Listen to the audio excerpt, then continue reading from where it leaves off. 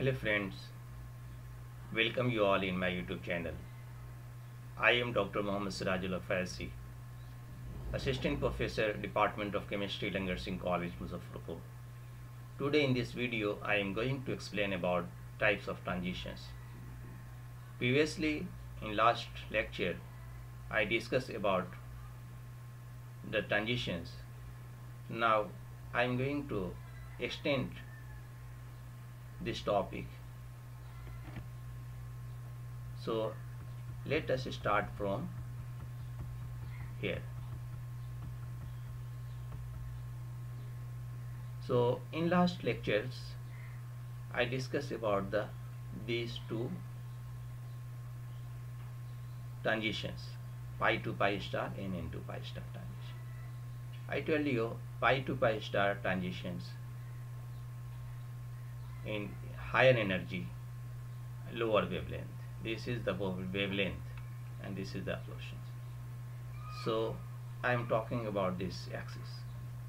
So pi to pi star transitions higher energy lower wavelength n to pi star transition lower energy higher wavelength.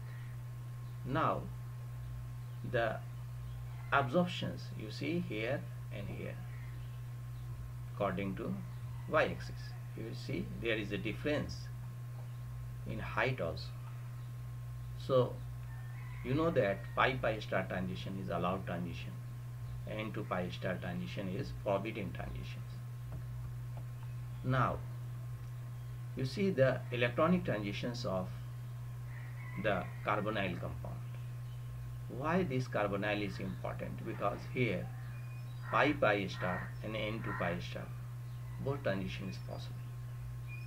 So if you have the pi and this is the pi this is energy difference.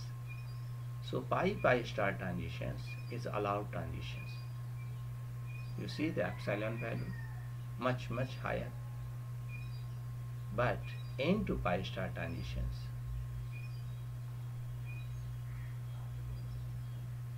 non-bonding orbitals to anti-bonding is forbidden transitions.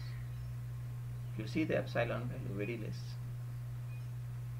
So again this is a matter of discussions why n to pi star transition is forbidden.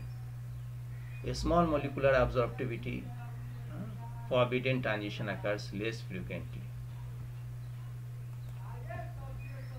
Now you see this is the HOMO and this is the LUMO in case of butene and this is the HOMO and in case of ethene. So look at this energy level diagram. So there is a problem outside. I will stop here. Hope this video will be helpful to you. Thanks for watching.